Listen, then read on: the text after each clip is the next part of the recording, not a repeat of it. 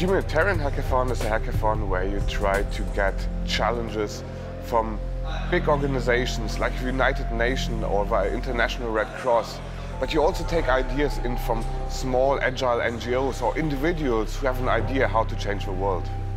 We are developing an app that will help people in emergency situations to connect and collaborate.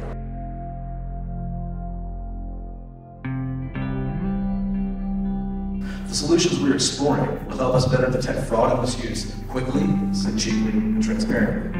And most importantly, free health workers to focus on what matters most, healing patients. We are creating an open data platform for medical product tracking based on highly secure technologies that provides trustworthy information to detect fraud and save lives. For us, um, it's about making a link between science and humanitarianism. We are building an automated tool that will filter, analyze, and visualize real-time information from incidents around the world to help humanitarian organizations.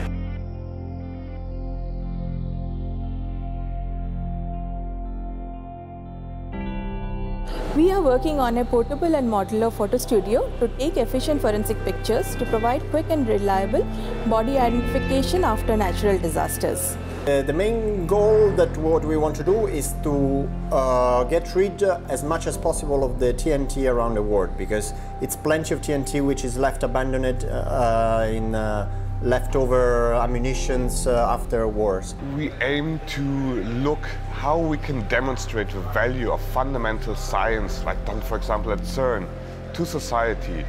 Our project focuses on turning your body movement into music and gamifying the music experience for physical rehabilitation. Here, if we flex, we see that it changes and then the value changes again. So this will produce the sound. Explore different gamification concepts where we're bringing the analog sensor signal into the digital environment.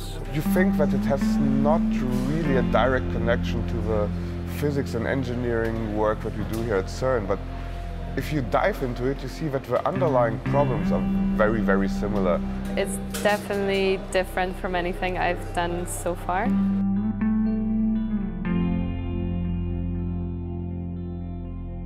Our team is working product design and communication for behavior change to reduce the risks of handling medical waste in field hospitals.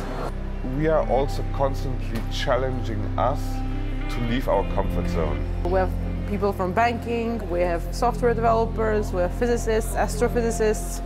We have very different profiles here. Software developers, a cybersecurity expert.